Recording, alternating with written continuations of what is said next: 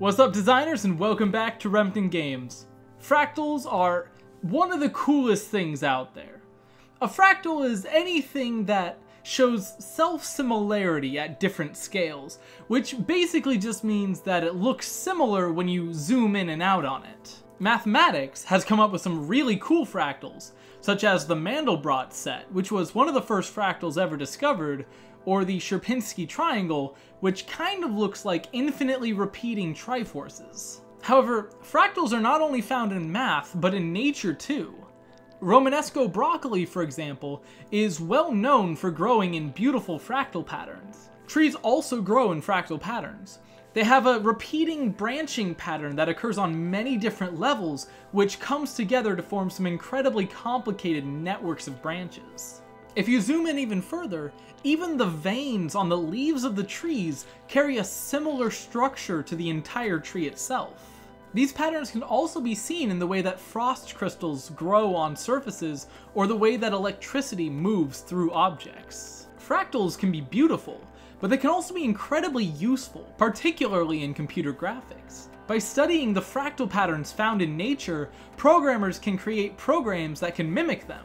By studying the branching patterns of trees, it's possible to create a program to mimic those and by slightly varying the parameters, you can come up with an infinite number of unique, procedurally generated trees. These fractal patterns can also be applied at a larger scale to generate entire landscapes. In the real world, many different types of geographic features show fractal similarity, from mountains to rivers to In the same way, fractals can be used by programmers to procedurally generate these terrains without having to model them by hand and can get some pretty impressive results.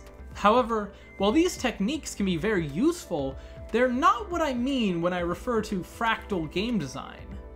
Just like a fractal looks similar when you zoom in and out on it, so do some video games. Not on a visual level, but on a mechanical one. For a great example of this, simply look at The Legend of Zelda Link's Awakening. In this game, Link finds himself on a mysterious island full of strange inhabitants with no apparent way off. Link wants to leave the island, and in order to do so, he must uncover its many secrets and mysteries. As Link explores, he'll come across various dungeons that he must complete. As he does so, he'll collect new items and abilities that will help him explore areas of the island that were previously unreachable. Link's Awakening can be seen as a fractal three layers deep.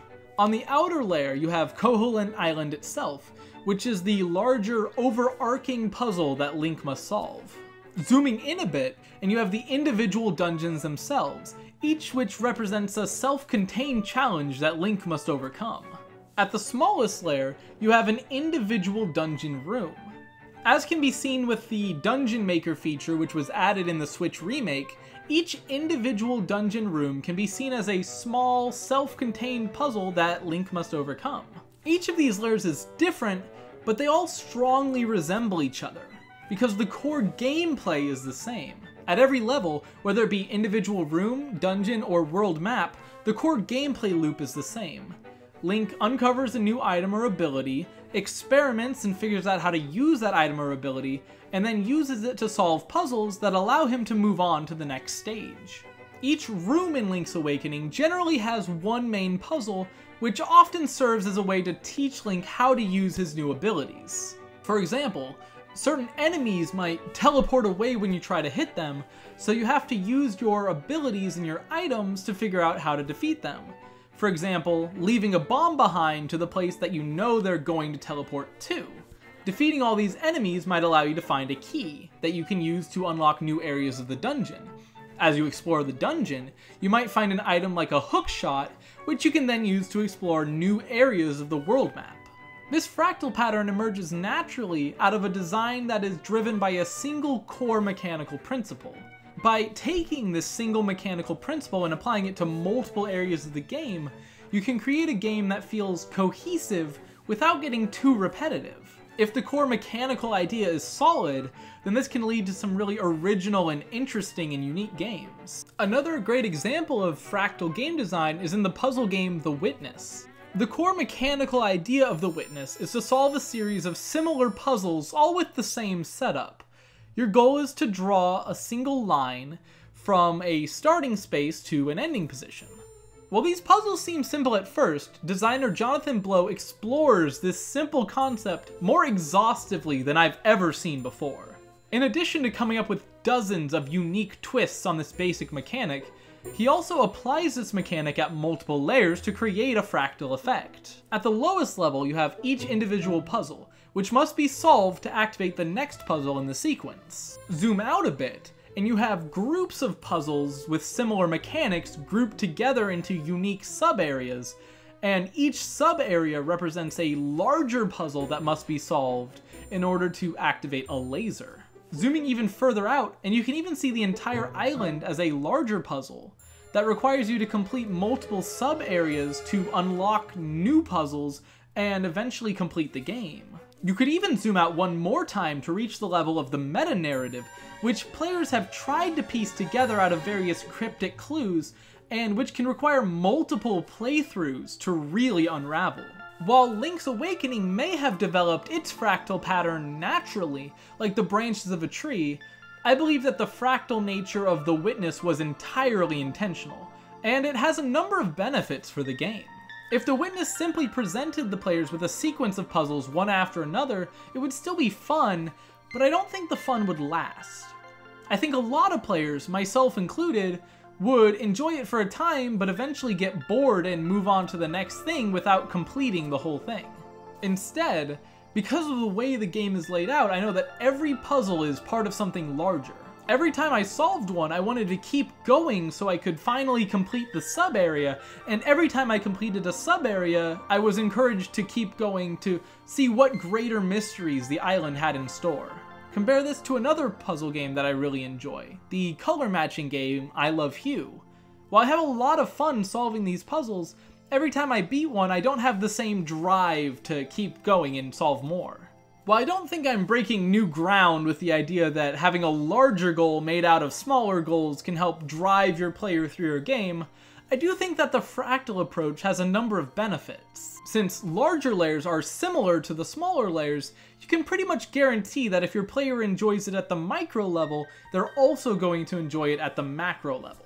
This isn't something that should be taken for granted, because it's entirely possible for a game to have multiple layers with different styles of gameplay, and there's no guarantee that if players enjoy one layer that they're going to enjoy another. That being said, having layers that require different types of gameplay can add more variety to your game and potentially bring in a wider audience of players. As with all areas of game design, it's a bit of a balancing act. On the one hand, you want to make sure that all the different layers of your game mesh well together, even if they don't line up perfectly. On the other hand, even if you are designing with a fractal pattern in mind, you have to make sure that your game provides enough variety of different activities for the player. Going back to Link's Awakening, the different layers all have the same core style of gameplay, but the types of problems that you have to solve at each level are different. On a room level, you generally only have to take in the information in that room and figure out how your items and abilities interact with the various elements and enemies within that room. On a dungeon level, you need to understand the overall structure of the dungeon, knowing the locations of treasure chests, switches, and other important features. When solving the entire map, it's a matter of understanding how the different parts of the map connect with each other and how you can use your abilities to reach new areas that you couldn't before.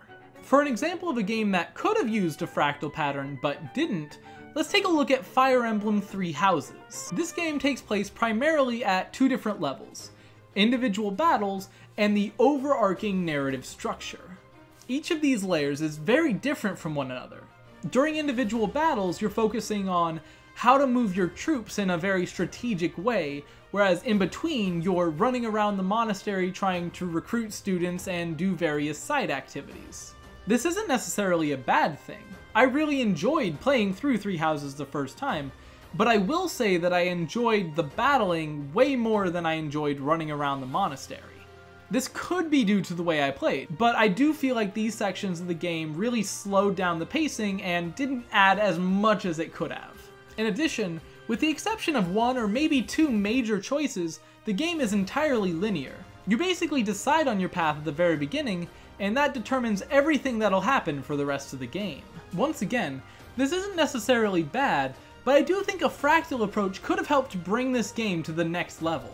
How do we apply fractal design to this game? Well, first, we need to start by identifying the core gameplay loop. What is the appealing thing that draws players to this game?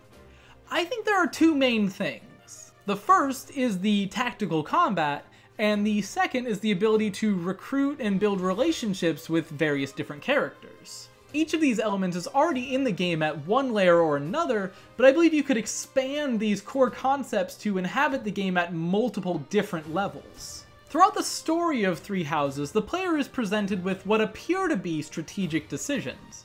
Do we attack this capital or that capital? Do we meet and discuss terms with this person, or do we think it's a trap?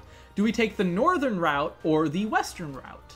These sorts of questions are asked of the player, but no matter what the player chooses, the game will always play out exactly the same way.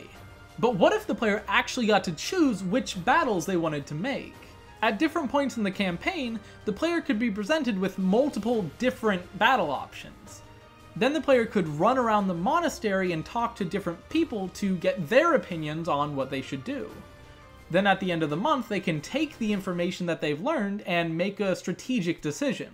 This could help expand the tactical gameplay to the wider narrative structure. On the other hand, I also think you could have the relationships between the various characters matter more. Because the stories are so linear, the decisions about which characters are going to be allies and which are going to be enemies is basically determined at the very beginning of the game. While you can recruit characters to your cause, this is limited and really only affects the options that you have in battle, not the overall narrative. For an example of where this could have mattered more in the game, there's a particular battle that takes place between three different armies.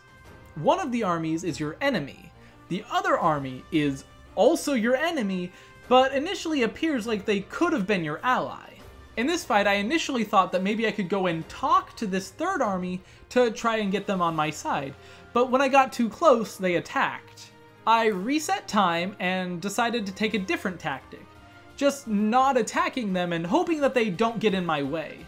However, after enough time passed, they eventually started attacking me anyways. I think it could be really interesting if the actions that you took not only on a battle level, but on the larger strategic level, affected your relationships not only with individual characters, but entire factions. Make the wrong choices, and now everyone is against you. Play your cards right, and you might actually be able to save everyone. While I enjoyed playing Three Houses, I think that some of these changes could have really taken it to the next level and made for a deeper and more cohesive experience. At the end of the day, there are many different ways to design a game, and fractal design is only one possibility. That being said, I think that the principles of fractal design, taking a core mechanical principle and applying it at multiple different layers in your game, can and has resulted in some really interesting games, and is a useful tool to keep in mind when designing your next game. Thank you so much for watching this video. If you enjoyed it, please give it a like, and subscribe for more videos like this in the future. If you want to see more, check out my other videos, like my last one on designing movement mechanics in games. I also have over a hundred articles on the Rempton Games blog, which you can check out in the description down below. And join me next time for part 2 of my Evolution of Pokemon design series, where I'll take a look at the evolution of Pokemon from Generation 2. Until then, thank you so much for watching, and I'll see you all next time.